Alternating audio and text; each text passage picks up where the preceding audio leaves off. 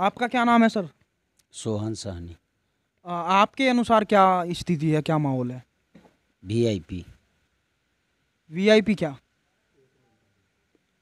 मुकेश जी के पार्टी। अच्छा जीत रही है? हाँ। एक बात ये बताइए जो भा, भारतीय जनता पार्टी है भाजपा हम्म, वो धर्म के नाम से जिस तरह से राजनीति करती है हम्म, क्या वो गलत है या सही है? गलत है। तो क्या होना चाहिए? धर्म के नहीं देखिए हमारे यहाँ पूरे भारत में सब जाति के सब धर्म के लोग हैं। और आपस में किसी को लड़ा देना जात बाई जात अलग कर देना हिंदू मुस्लिम कर देना वोट लेना ये तो सरासर नाजायज है। ये नहीं होना चाहिए। ये नहीं होना चाहिए। तो बिहार में जो पार्टियाँ चुनाव उनमें तो किसी में ऐसा नहीं है ना? नहीं तो हमारा जो नेता है मुकेश सहनी वो धर्म के लड़ाई नहीं ना लड़ रहे हैं। वो लड़ाई लड़ रहे हैं अति पिछड़ा के। वो तो नहीं ना बांट रहे हैं अति पिछड़ा में मुस्लिम समुदाय के भी लोग आते हैं आ, हिंदू समुदाय के भी आते हैं। जी जी जी।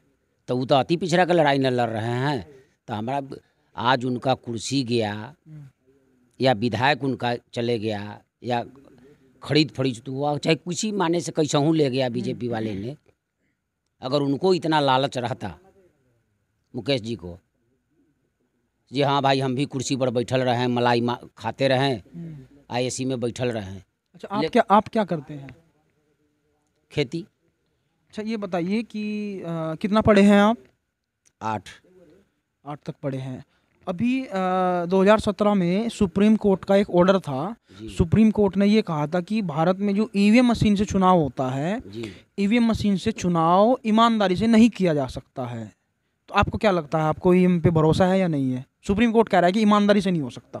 हाँ ये बात सही है। सुप्रीम कोर्ट का वो आदेश जो है ना जे से न चुनाव है बैलेट से अगर होगा तो आज बीजेपी का सफाया हो जाएगा। अगर ईवीएम से होगा तो बीजेपी जीत भी सकती है। हाँ जीत भी सकती है। तब क्या करेंगे आप? तब क्या हमारा मांग है जो बैलेट से चुनाव हो? अच्छा आपकी मांग ये है कि बैलेट से चुनाव होने चाहिए। ईवीएम पे आपको भरोसा नहीं है? ना नहीं है भरोसा। गड़बड़ी होती है? हाँ। अभी अभी अभी आपको उत्तर प्रदेश में जो चुनाव हुआ एक हज़ार और पाँच सौ या सात सौ वोट से जो अंतराल में जो उम्मीदवार बी इसका समाजवादी पार्टी का जो हारे हैं क्या तमाशा वहाँ हुआ? नौ बजे दस बजे ईवीएम से इतना देर रिज़ल्ट के क्यों? हमारे यहाँ अभी मुजफ्फरपुर जिला में कुरहन्नी में अनिल सहनी जिस समय आरजेडी से चुनाव हुआ अभी वहाँ वहाँ के विधायक हैं वो। चुनाव हुआ तीन सौ सैंतीस की सैंतान संतानवे वोट से वो जीते उनको हार सुना दिया गया था। लेकिन जब बढ़ गया वहाँ खूना खराबी पर नौबत हो गया पूरा एकदम बिगड़ गया वहाँ गोली चलने की नौबत आ गया था। तब जा कर के दोबारा फिर डीएम आदेश किया तब काउंटिंग हुआ तब जा कर के अनिल जी जीते वहाँ से। अच्छा। सकरा में यही हुआ। गायघाट में यही हुआ। गायघाट में भी यही हुआ है सकरा में भी यही हुआ खेल। अच्छा आप तो काफ़ी मतलब ये तो चुनाव की बातें हैं क्षेत्र में घूमते ही रहते होंगे तो जिस तरह से अ, कुछ ऐसी समस्याएँ जैसे सड़कों की समस्याएँ गाँव में गरीब लोगों के पास घर की समस्याएँ मकान नहीं है रहने के लिए जगह नहीं है पीने के लिए पानी नहीं है काम करने के लिए रोज़गार नहीं है तो इस पर क्या कहेंगे कि ये बड़े पैमाने पर व्याप्त है? देखिए सबसे बड़की बात है यहाँ कोई भी काम आप सरकारी दफ्तर में चले जाइए बगैर रूपचंद के कोई काम यहाँ नहीं होता है। पहले के ज़माना था, तीन सौ में दाखिल खारिज होता था। आज उस दाखिल खारिज का बीस हज़ार रुपया लिया जाता है।